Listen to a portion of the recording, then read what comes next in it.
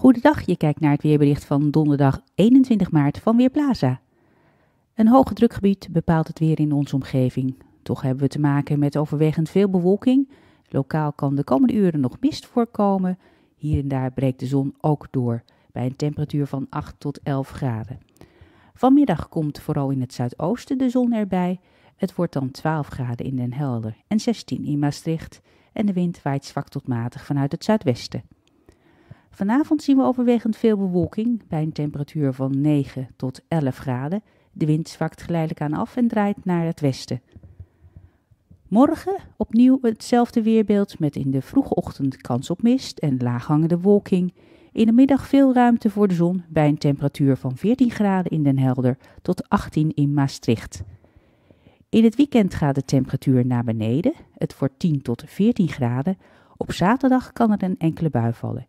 En ook na het weekend ligt de middagtemperatuur rond een graad of 10. Mijn naam is Diana Woei van Weerplaza.